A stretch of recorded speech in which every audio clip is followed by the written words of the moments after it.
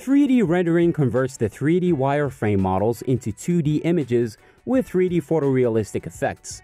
The main goal is to achieve the highest possible degree of photorealistic rendering with at least the minimum rendering speed, which is usually 24 frames per second. There are two types of rendering real time and offline rendering, as known as pre rendering. Real time rendering is the most known type for interactive graphics and video games. And it is much faster than pre rendering because the 3D images here are calculated at high speed so that it looks like the scenes occur in real time when players interact with the game. Graphics are one of the main considerations of 3D rendering. Unity could achieve realistic renders as it provides stunning photorealistic graphics, which is shown in a plethora of its games. Unity also provides the sprite renderer to render sprite type images in both 2D and 3D scenes, which allows you to display images as sprites using the concept of sorting order layers to allow you to divide sprites into groups for overlay priority and apply consistent priorities to sprites in the same layer. Moreover, Unity has a highly customizable rendering technology called the Scriptable Render Pipeline, or SRP, that allows you to tailor the rendering process to your target platform and establish great imagery so you can optimize performance for specific hardware. For example, there is the High Definition Render Pipeline, or HRDP, which targets high-res PCs and consoles and refers to the calculation processing method of Unity that realizes high-quality graphics. And there is the Universal Render Pipeline, or URP, also known as the Lightweight Render Pipeline, which is a powerful rendering solution that delivers beauty and performance and allows you to create, scale, and optimize stunning graphics efficiently. And as it is a scalable multi-platform render pipeline built on top of the scriptable render pipeline SRP framework, it scales to all of the platforms Unity targets, such as VR and mobile devices, up to high-end consoles and desktop machines. URP in Unity is extendable and customizable.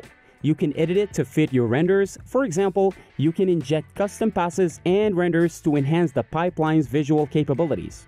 URP also provides renderer features such as decals and screen space ambient occlusion SSAO and allows you to update the lighting and material properties at runtime because it supports real-time global illumination via Enlighten.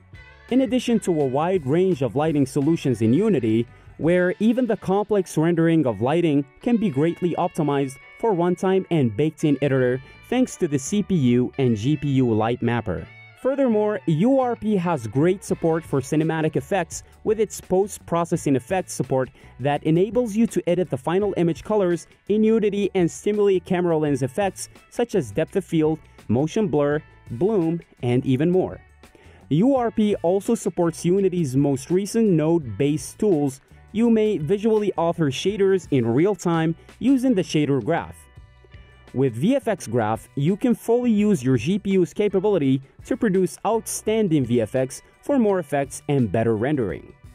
There are three rendering paths for URP to better support the variety of games in Unity. Forward rendering, which provides optimized material and lighting workflows for all supported platforms. Deferred rendering, which allows for the rendering of a large number of lights without sacrificing performance. And 2D rendering, which provides great real-time light and shadows for 2D games, are all available. Additionally, Unity offers advanced lighting, shading, and texture support, besides plenty of graphics and ambience options that help designers add exceptional details to their work. Lighting and shadows are part and parcel of good rendering and photorealism, as they are the main factors that allow depth in a 3D scene. Using Unity, you can create light sources and adjust them to fit your scene to create realistic shadows.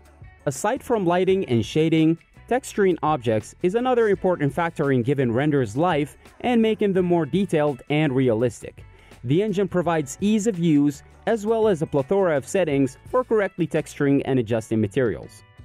Rendering a complete frame-by-frame work requires high-performing computers and may take hours if not days. Unity reduces that by allowing real-time live editing while rendering. which is very convenient for animation and game design. The engine also has a huge array of built-in useful rendering tools such as event triggers, animation, lighting, and physics. Besides these tools, there is also Unity Store that is jam-packed with thousands of plugins and items to choose from, including libraries full of objects that can be incorporated into 3D renders. With all of that being said, we can say that Unity is really good for rendering, and it's still developing and surprising its users with every version and update.